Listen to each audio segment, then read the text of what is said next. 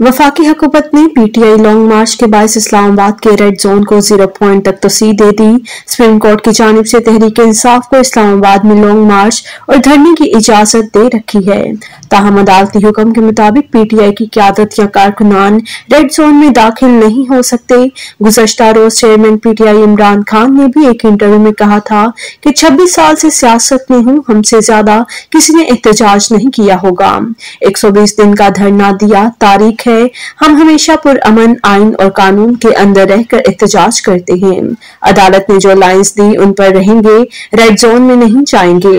अब दूसरी जानब वफाकी हुकूमत ने लॉन्ग मार्च के लिए इस्लामाबाद के रेड जोन को ज़ीरो पॉइंट तक तोसी दे दी है, जहाँ हुकूमत की जानब से दफ़ा एक सौ चौतालीस नाफिज रहेगी।